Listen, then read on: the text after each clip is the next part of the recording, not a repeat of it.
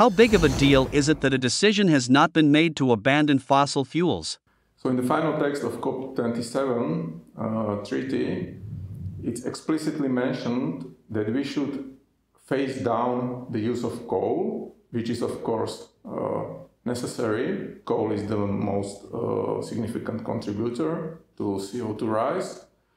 And it is also recognized we need, it, we need to do it by 2030 in the rich countries and 2040 in, uh, in the other countries, so globally.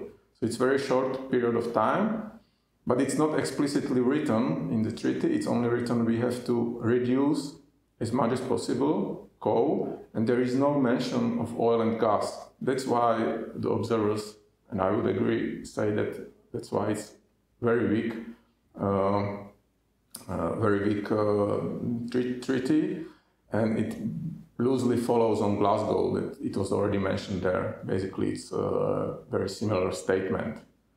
So yeah, uh, this is not enough, and uh, we really need to abandon all fossil fuels. And once it's not written in the final text, and there is no mechanisms to to so it can to, to make it happen and make it on the ground, it's really the crucial problem because you really have no instruments how to force countries to follow on their pledges. Isn't the fund for poor countries just a solution to the symptoms without solving the causes? The financial mechanisms that were agreed in Egypt are definitely a big progress compared to the previous conferences because there was no such agreement before. So specifically this new fund that is related to the damages and loss caused by climate change will be provided by rich countries to the poor countries. So it's a really good step in the or step in, in the good direction, and it's very much needed.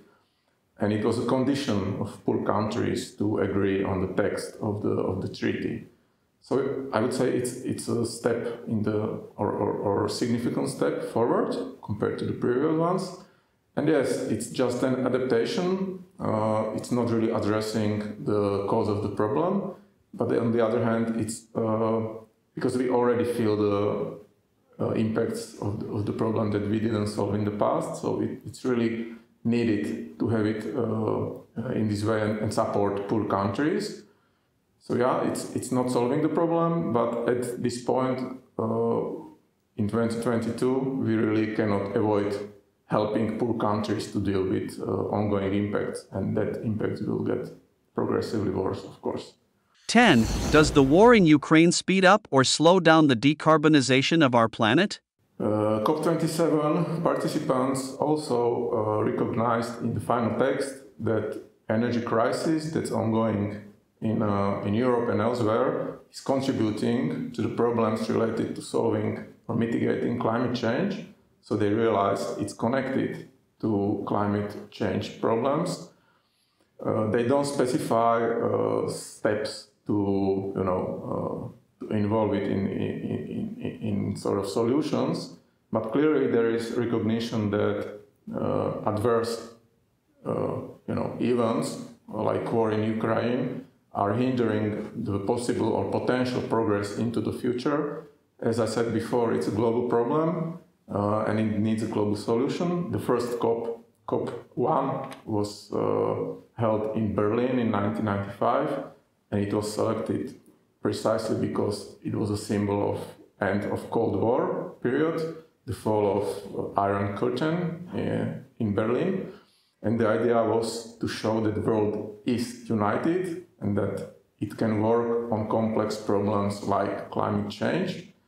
So Definitely, we need uh, cooperation and any war, any conflict, and it's not only in Ukraine, we have other conflicts as well in other countries, and they are definitely uh, making the progress much more complicated. Even so, in the short term, it can help in a way that we push, you know, for saving energy, for trying to substitute fossil fuels.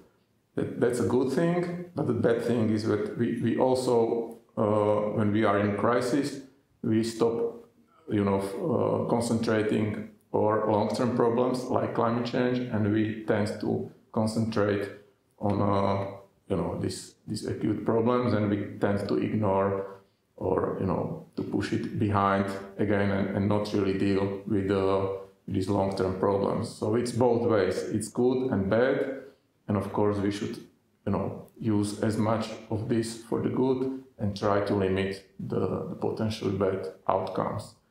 Uh, I could mention also um, the cooperation between the big players, that is, you know, US, Russia, India, China, and it looks like the conversation or cooperation also in the climate era or sphere is a little bit uh, deteriorating in a way that these people are not really talking so much between each other, even uh, or, or also in these uh, mm, climate conferences, then they would be talk if the relations are, let's say, peaceful or, or much better than, than under current conditions.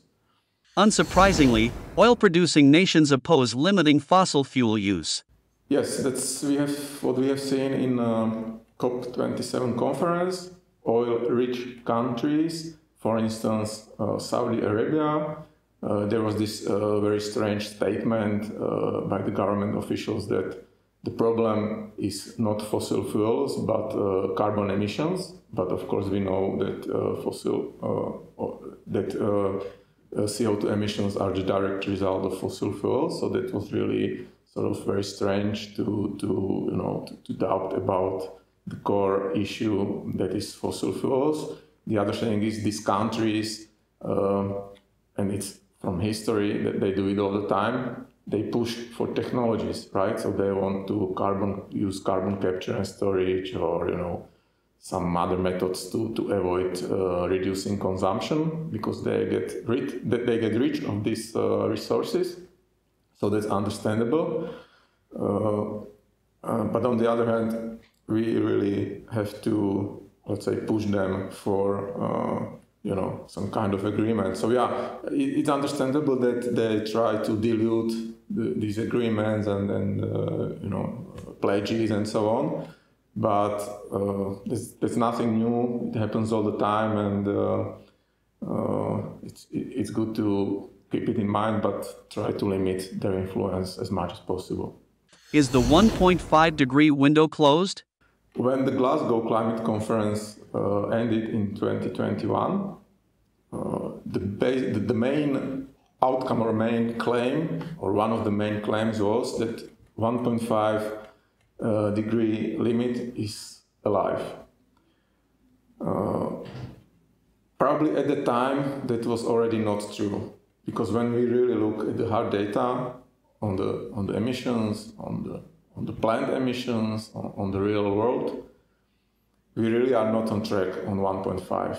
Uh, in 2022, global carbon emission from fossil fuels will be again at a record if nothing significantly changes until the end of the year.